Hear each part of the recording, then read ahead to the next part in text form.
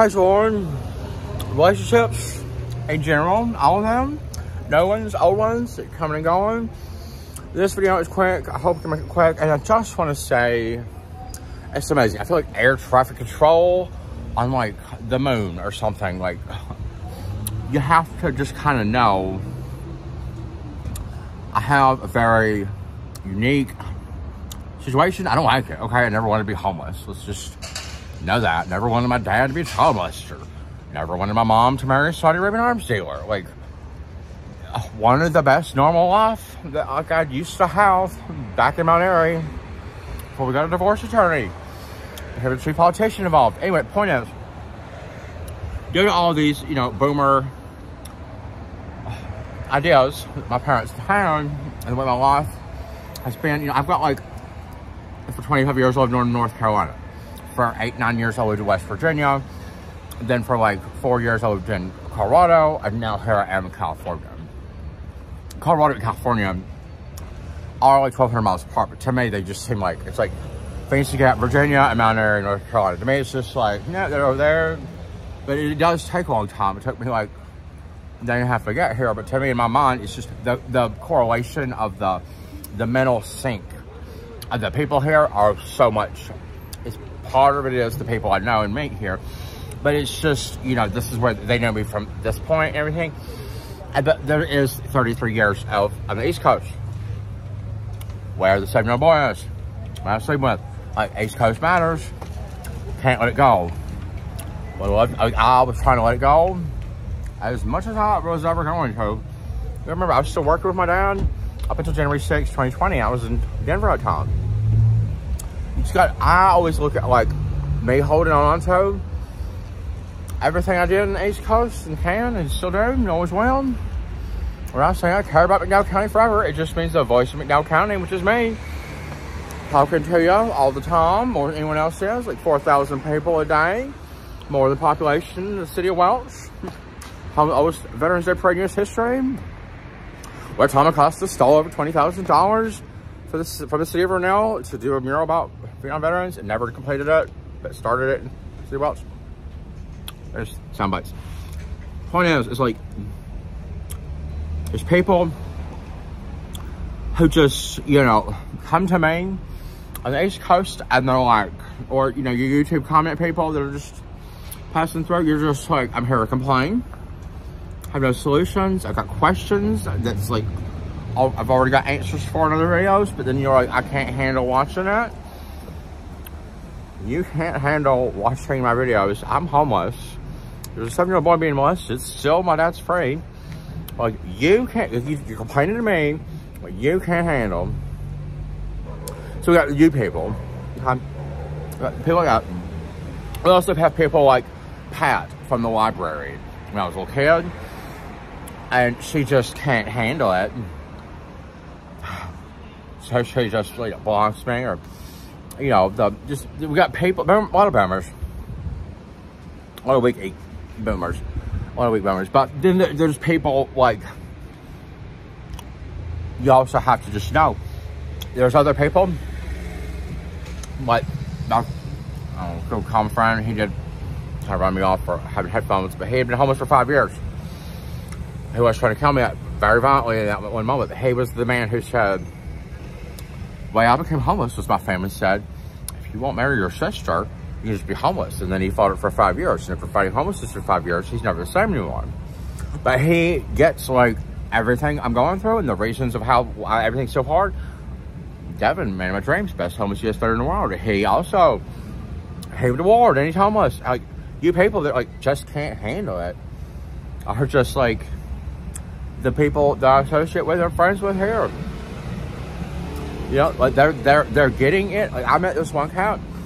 They don't like very much. And right away, like the first two minutes of meeting him, I was like, my dad had just heart surgery and he's a heartbreaker. And he was like, I get that. I know exactly what you mean. You have you know, people with quadruple heart, open heart bypasses. A lot of times, are just, eh, they ended up being the shady ass people. And like we have a divorce attorney, Sarah Stevens, who you know, I'm sorry, but she looks like she just went and had a, you know, open heart surgery, you know, makeover, new look. Don't know, but you know, maybe she's lost her hair, looks that way. Her rib cage has been opened up. You look different. Uh-huh.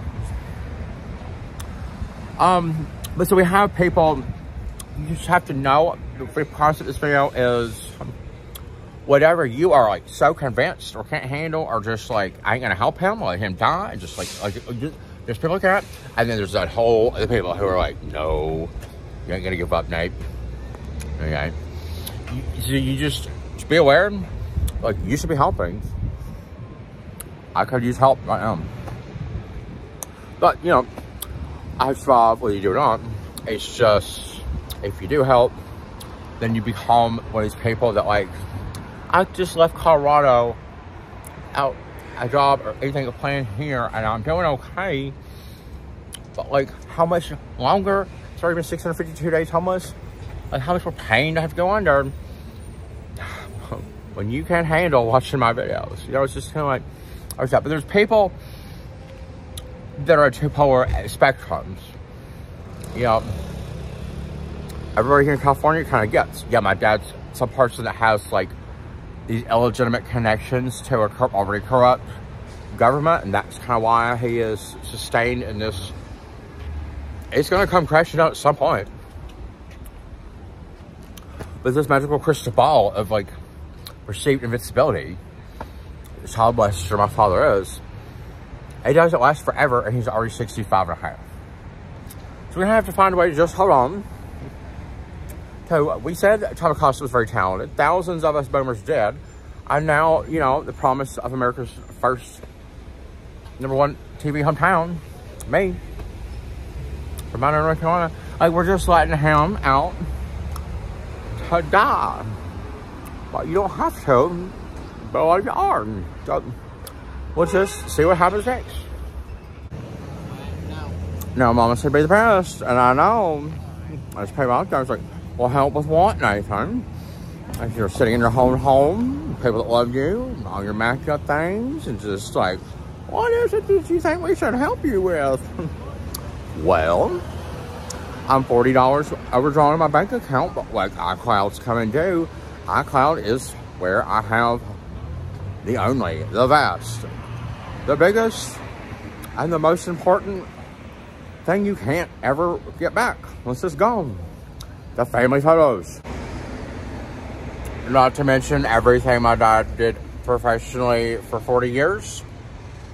This is archive, everything ever painted, and we can say we don't care about Tom Acosta for Margaret Chicoetti. Margaret Chicoetti, we got the whole video on you soon.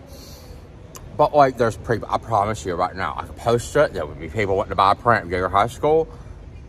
Kind of low grade, but like, now also, I can already see those bummer wheels are turning. I won't see what percentage, but there is a significant amount of my viewers that are boomer age. And I can tell that you're like, well, if you have a print of your high school, why don't you sell that, Nathan?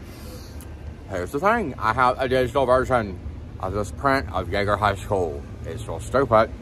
But people, it's already happened while I've been homeless, while people know my dad's published. They're like, we want the print of our high school, which is about kids. Why do you want to buy? But I'm like, well, the image online came from me. I am homeless. I am as a child but I don't even have a print. I am homeless. I have to have something physical to sell. Would I sell? Probably I would. Like, I don't have the ability I don't even like this thing, but it is in demand. It is what people want. But it also painted the oldest church in America.